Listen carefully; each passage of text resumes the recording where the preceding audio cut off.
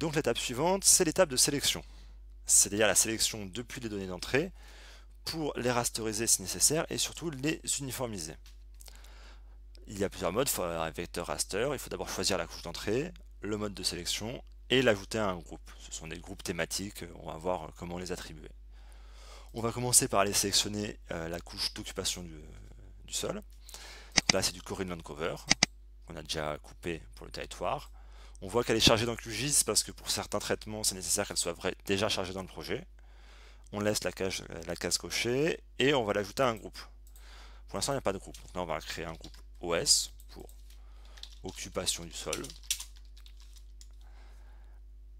on voit que le groupe est bien créé à droite. On enregistre la sélection, donc là l'outil travail. Ça c'est l'onglet de journal, c'est-à-dire c'est là où il y a tous les messages d'information ou d'erreur. Donc là ça s'est bien passé. On revient à l'étape de sélection, on voit y a bien une ligne qui a été ajoutée en bas, c'est-à-dire que ça a été enregistré comme paramétrage. Donc là on va d'abord paramétrer toutes les sélections et ensuite on les lancera j'enregistre, c'est un bon réflexe à avoir. Donc là, on va passer, on va choisir par exemple les routes. Donc les routes, elles sont là. Et pour les routes, on va, donc c'est en mode vecteur, on va choisir le mode de sélection par expression. On va ouvrir ce petit widget là avec le, on peut construire des formules et on va travailler par exemple sur le champ vocation. Et par exemple, on va vouloir euh, sélectionner euh, séparément les, routes selon leur importance. là, les liaisons locales, on va dire que ce sont des, petites routes, ou routes locales. Hein. On ajoute le groupe, on sélectionne bien le groupe, on enregistre. On va répéter l'opération pour les autres valeurs du champ vocation. les routes régionales. On va créer un nouveau groupe pour éviter qu'elles s'écrasent entre elles. On ajoute le groupe, on enregistre la sélection. là, on voit que les sélections sont différentes. Et enfin, on passe à la dernière valeur du champ vocation, qui est donc les liaisons principales. Hop, encore un nouveau groupe principal on ajoute, on sélectionne, on enregistre. Et là, toutes les routes ont bien été traitées. On passe ensuite à d'autres données. Donc là, par exemple, on va prendre les, les cours d'eau. Doivent venir de la baie des Cartages, sûrement. Et cette fois, on va travailler en mode de sélection par champ. C'est-à-dire qu'on va choisir un champ pour la couche de, de cours d'eau. Donc là, le champ largeur, par exemple on va dire que c'est le groupe hydro,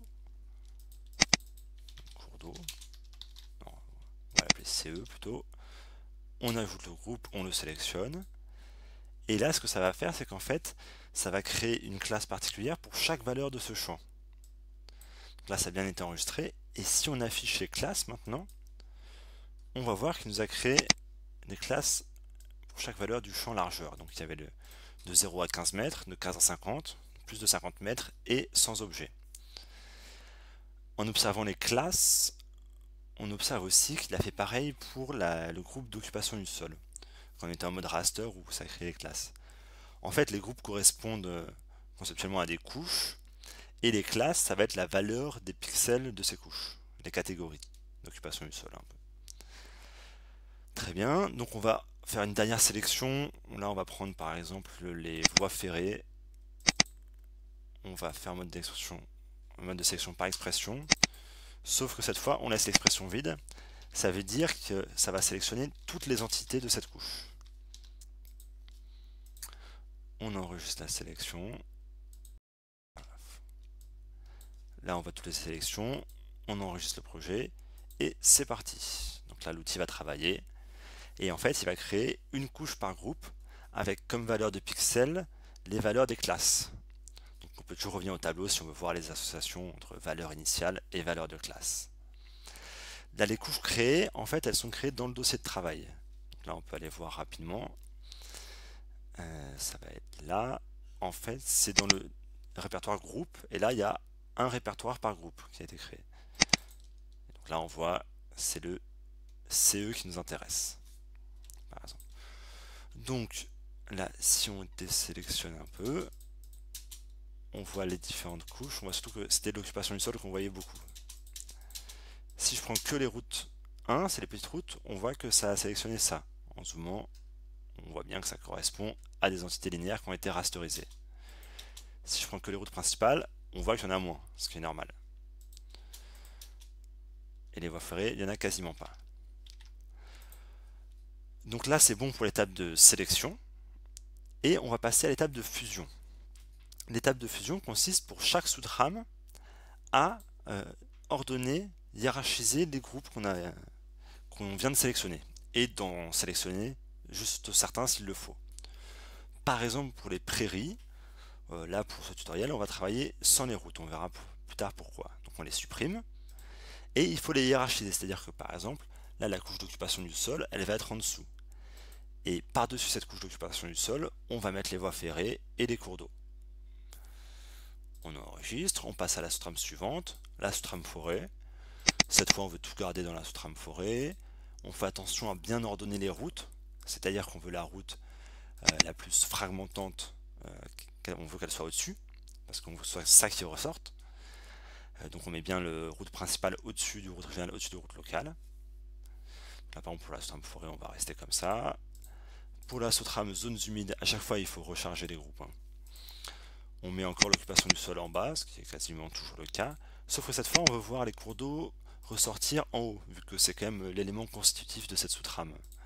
Et que si jamais il y a une intersection entre cours d'eau et route, on veut que ce soit le cours d'eau qui soit modélisé. Oui, parce qu'en fait, la couche au-dessus va écraser les couches en dessous. Très bien pour les routes, euh, pas pour les routes, pour les zones humides. On passe aux routes, et là, du coup, on ne garde que les routes logique et toujours sur la même logique. Donc voilà, donc là c'est bien, on a enregistré toutes euh, nos, fusions et on va lancer les traitements. Concrètement, cette étape, elle sert en fait à constituer une couche d'occupation du sol complète pour chaque sous-trame. Parce qu'on a souvent euh, des données d'occupation du sol euh, de base, mais il faut souvent les compléter par exemple par toutes les structures linéaires comme les routes, les cours d'eau. Donc là pareil, on voit une couche a été créée par sous-trame. Donc là, la couche des prairies. Là, on voit, c'est les cours d'eau et les éléments linéaires. Si on met la couche des forêts, on voit qu'en plus, on a les routes. Et enfin, si on prend que la sous-trame des routes, on voit qu'on a que les routes. Donc très bien. Et en gros, chaque pixel de la couche correspond à un type d'occupation du sol. Ça, c'est bon pour l'étape de fusion.